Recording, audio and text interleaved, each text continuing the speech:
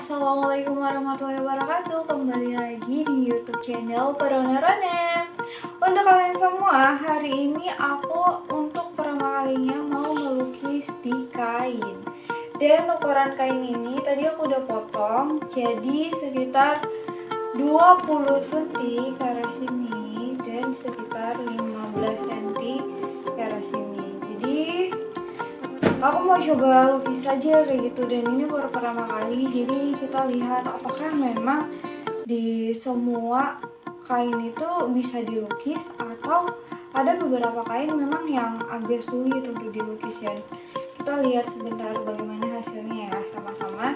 Dan untuk jenis uh, cat air yang aku gunakan itu adalah akrilik jadi ini aku direkomendasikan aku dulu baru pakai sih sebentar. Jadi semoga lukisannya bagus. Amin amin amin. Amin pokoknya kayak gitu untuk kalian semua. Sebelum aku lanjut jangan lupa subscribe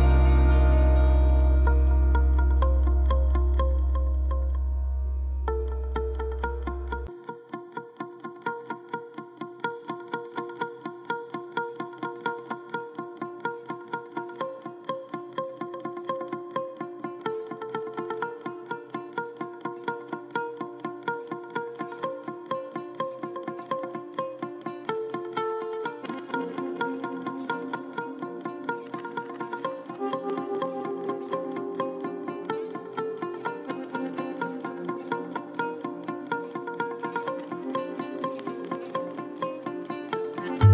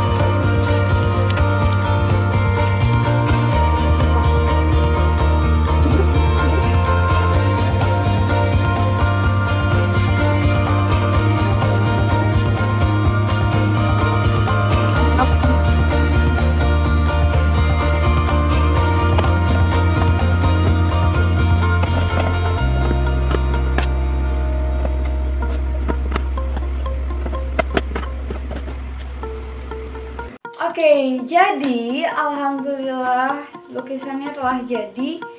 Tadi aku itu menggunakan pelapis seperti ini, kertas aja kayak gitu supaya nggak tembus di meja aku. Dan taran, jadilah sini seperti ini. Jadi uh, tadi itu emang setelah aku coba uji coba melukis di atas kain itu ternyata beda banget dengan ketika kita melukis di kertas kayak gini. Jadi kalau di kertas itu kita masih bisa memblend warnanya di kertas apalagi uh, menggunakan cat air. Misalnya cat yang kayak gini ya. Ini ini mereknya Stoman emang dia kayak untuk air kayak gitu loh. Maksudnya cat air kayak gitu. Sedangkan yang aku gunakan tadi adalah cat akrilik kayak gini dikhususkan untuk kain. Dan setelah aku uji coba emang bisa sih tapi kayak kita kayak gabung gabung warna di atas kain itu emang agak agak susah-susah gampang. Tapi menurut aku ketika aku kayak gambar yang kayak gini dengan gambar di kain itu emang beda kayak gitu. Suasananya caranya cat air atau akrilik itu tersebut uh, sangat cepat meresap dibandingkan ketika di atas kertas. Dan uh, kita juga lebih banyak menggunakan warna dibanding ketika kita menggunakan kertas kayak gitu. Jadi um, kalau kalian misalnya membuat lukisan baju itu memang kalian harus membutuhkan cat yang lebih banyak lagi. Tapi kalau hanya untuk sekian kayak gini au maaf jadi ketika kalian hanya menggunakan hanya untuk sebesar ini aja ini nggak habis sih masih banyak kayak gitu. Dan aku tuh menggunakan kuas jadi yang berbeda-beda. Misalnya yang kayak bintang bintang bintang yang kayak kecil-kecil itu sebenarnya bisa juga sih. Aku uh, kayak lebih tinggal di dikasih gini tapi aku itu mau memberikan kesan satu-satu kayak gitu. Aku lebih mau yang ke detail. Aku takutnya nanti karena di bagian mataharinya kan makanya aku lebih kayak kayak gini. Ke menggunakan kuas yang paling kecil. Ini ukurannya dua sih aku nggak tahu dua apa ya. Biasanya emang agak beda. Dan um, ya kayak gitu. Semoga video ini bisa menginspirasi kalian menambah wawasan juga dan Jangan lupa subscribe supaya aku makin semangat untuk membuat suatu karya yang lebih baik lagi selanjutnya. Terima kasih untuk kalian semua. See you.